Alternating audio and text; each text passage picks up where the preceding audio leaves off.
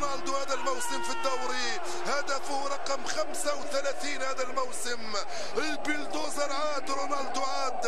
قال عنه زيدان بأنه جاء من كوكب آخر. نعم جاء من كوكب آخر. هذه الآلة التي تسجل الأهداف. بنزيما في تمريرة حاسمة مرة ثانية. رونالدو باليسرى يسجل وباليمنى يسجل. يسجل جول